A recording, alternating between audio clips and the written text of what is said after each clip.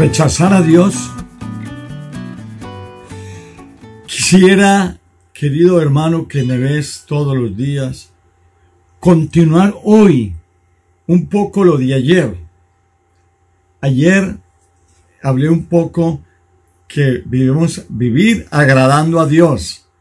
Pero en 1 Tesalonicenses 4, en el verso 8 dice, el que desprecia estas enseñanzas, vivir en santidad todos los actos de la vida en santidad, el, que desprecia estas enseñanzas no desprecia a ningún hombre.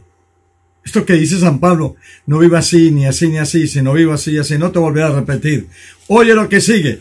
El que desprecia estas enseñanzas no desprecia a ningún hombre, sino a Dios mismo. No aceptas estas enseñanzas que el Espíritu Santo por San Pablo nos dice, estamos rechazando a Dios mismo. Y si tú das explicaciones, si das excusas, no es por esto y es por esto y es por esto. Todas las excusas que vayan contra la palabra de Dios son del puro Satanás. Es Satanás quien te las inspira. Entonces, mira qué cosa tan terrible esto de rechazar estas enseñanzas. ¿Por qué? Porque estamos rechazando a Dios mismo, a Dios mismo. Mira, en San Mateo 9, 8 y en el verso 28 cuenta cuando Jesús echó unos demonios de unos posesos y se fueron a parar a, unos cerdos. Bueno, ¿qué pasó? Jesús hizo un bien, hizo una maravilla, les hizo un favor, les hizo un regalo, porque era tan miedoso lo que pasaba con estos uh, hombres que nadie se atrevía a pasar por ese lugar por donde estaban todos estos endemoniados. Tenían pánico. Y Jesús llegó y les hizo un favor, echó el diablo, los metió en los cerdos y se fueron para el abismo. Los liberó. Como a ti. Te saca muchas cosas y te libera. Eres criatura nueva. Cuántas cosas cargamos y nos quitan, nos sentimos felices y en paz. Eso hizo Jesús con esta gente. Fue y les dio un regalo. Ah. ¿Cuál fue la respuesta de estos jerusaletanos? Al final dice, entonces toda la gente del pueblo salió a donde estaba Jesús y al verle le rogaron que se fuera de la tierra de ellos. Echaron a Jesús. Despreciaron a Dios. Jesús es Dios. Lo despreciaron. Lárguese de aquí. No queremos que esté con nosotros. Lo expulsaron. Lo que te dice la primera lectura. El que desprecie estos regalos de Dios, las maravillas de Dios que te he dado, estás despreciando al mismo Dios, no a ningún hombre. ¿Cómo es posible estas cosas? Que despreciemos al Dios. Yo creo hay algo precioso que nos puede aclarar. ¿Cómo es posible que yo eche a Dios? No acepto todo lo que dice la palabra de Dios, explicada, enseñada por nuestra Santa Madre Iglesia Católica. Yo no estoy hablando a los que no son católicos. Yo te estoy hablando a ti, hermano, que te dices católico. Pues si te dice católico, tienes que creer y aceptar todo lo que enseña nuestra Santa Iglesia Católica. Si no, no eres católico. ¿De dónde será? No sé. De algunos otro grupo de cristianos será. Pero mira, mírate Leo.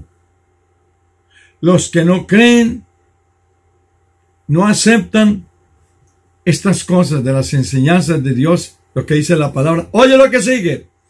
Este es San Juan 3, del verso 19 en adelante. La luz vino al mundo. Jesús fue a esa gente a iluminarlos, a sacarlos de las tinieblas, a hacerles un regalo, un favor y lo echaron, lárguese. No lo habremos, no habremos hecho lo mismo tú y yo. Lárgate para yo hacer lo que quiero. Que no me digan que esto no está bien. Yo quiero hacerlo. Lárguese de aquí. Personas buenas que te vienen a hablar de parte de Jesús. Y es el mismo Jesús en esas personas. Y sigue diciendo. Porque cuando la luz vino al mundo, les gustó más la oscuridad que la luz. Porque hacían cosas malas. Oye hermano, ¿no te estará hablando Dios por medio de esta carta? Sigamos. San Juan 3, ahora verso 20 y sigamos. Todos los que hacen lo malo odian la luz y no se acercan a la luz. No quieren acercarse a nadie que les habla como un Juan Bautista que predicaba y se acercaban y unos lo despreciaban y otros lo aceptaron. Todos los que hacen lo malo odian la luz y no se acercan a la luz para que no se descubra lo malo que están haciendo. Pero los que viven de acuerdo con la verdad se acercan a la luz para que se vea que Dios está en ellos, hablando y haciendo. ¿Te tendré que explicar? ¿No será tan clara la palabra? Por eso, hermano, hay que leer la palabra. Léela. Mantén una biblicita así más o menos pequeñita para que la tengas en tu mano y cuando estés desocupadito, habla, léale. Señor, háblame. Te habla. Si buscas a Dios, se deja encontrar. Si acercas a la luz, te ilumina la luz y eres libre porque la luz nos quita las tinieblas. Oremos. Padre, por las llagas, por la sangre de Jesús, Hijo de María, dame la gracia de aceptarte, jamás rechazarte. Y pues dame la gracia de escuchar al que me habla, a alguien que se acerque y me diga algo lindo para tu gloria. Mañana espera lo que me enseñó una indígena en la ciudad del Alto, en Bolivia. Bendiciones.